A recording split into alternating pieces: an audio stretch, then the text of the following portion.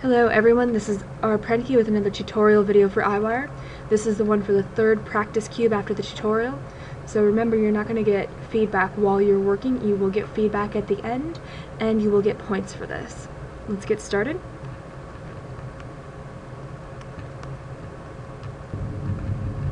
Oops, wrong direction. Let's go this way.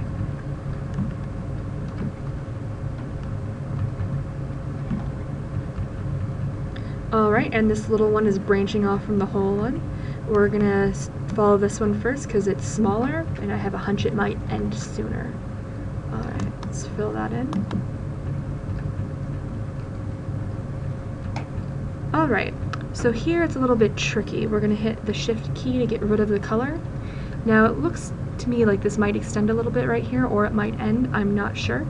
So let's try clicking right here, see how there's not a line. Okay. And let's see if it goes further. Alright, and I'm not sure. I'm trying to follow the shape right here, but it's a little muddy because the outlines aren't very clear. So let's try clicking that. Alright, and that picked up the entire thing right here, so I don't think that is right. Let's go take a look in the 3D. And so when you're not sure if something you've picked up is correct or not, always go check in the 3D because often it's really easy to discern what's wrong.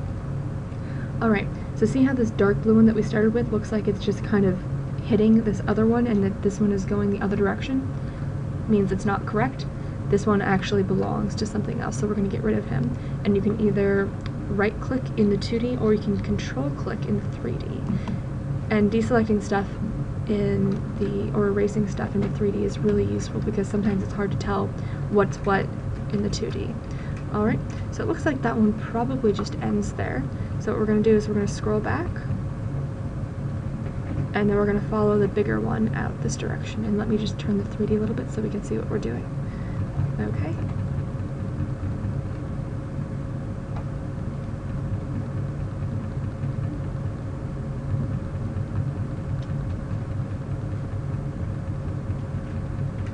And we can see in the 3D right here that this branch that's starting right here has a rough spot up at the top. It's kind of flat and then there's a little jagged bit that indicates that there's something missing right there. Uh, once in a while there'll be this, these little nubs that do end, but they'll have a rounded tip, and this one doesn't, so we know that keeps going. Alright, so let's see where this goes. Oh look, we just added a big branch. I wonder if it goes to the other side of the cube. Let's see.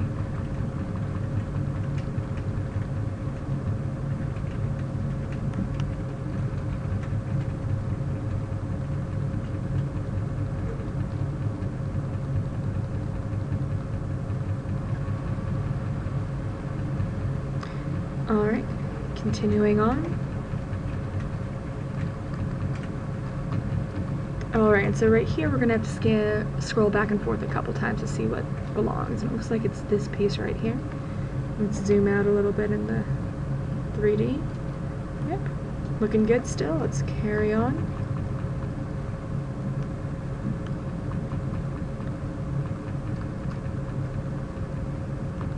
Okay. And then we just have this one to follow now.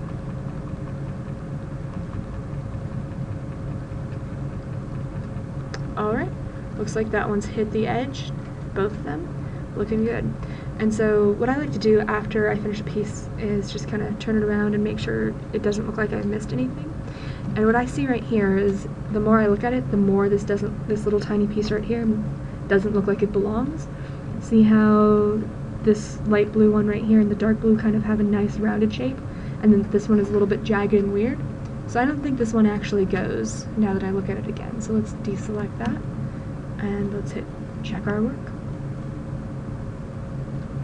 Great, looks like we got pretty good score.